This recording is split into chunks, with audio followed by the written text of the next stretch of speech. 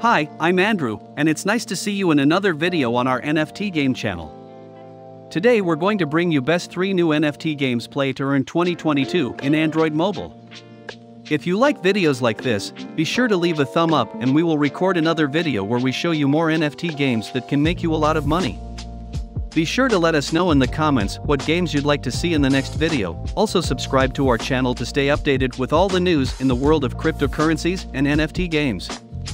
Here are some of the best NFT games that you can try. Let's get started. Number 3. Naniko.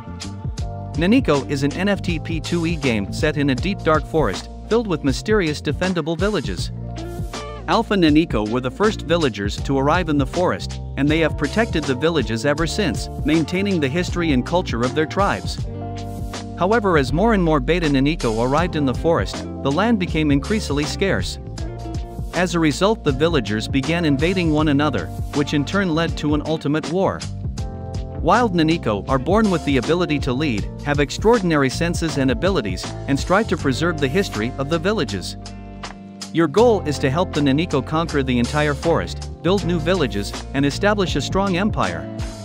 To carry out invasions, you will create various teams and continuously train them to be the best, you will then use these teams to attack enemy villages.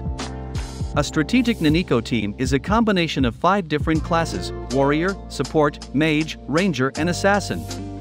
Will your Naniko village be strong enough to defeat others? Will your empire thrive or struggle? Number 2.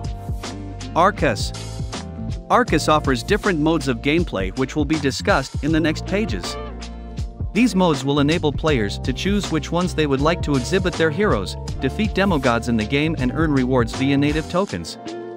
With the recent launch of countless play-to-earn games powered by blockchain, people have easily forgotten the true essence why games are developed and created.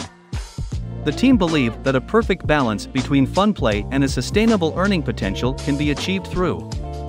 For this reason, the team has created Arcus with the following goals. Rekindle the heart and soul as to why people play games regardless of classification or genre, to have fun, relaxation from stress, and most importantly, to keep the childhood spark in every one of us. Build a community of players that allow interaction and teamwork through a fun, action-filled, and real-time gaming platform. Number 1. CryptoFights Battlegrounds Evolve. CryptoFights is a D20 fighting strategy game built on the blockchain. Players create fighters and use them to fight in the dungeons against non-player enemies, or enter the battlegrounds to play against other players for rewards. Players can also collect components to craft weapons, trade items, and activate battle portals by staking tokens and using portal fragments.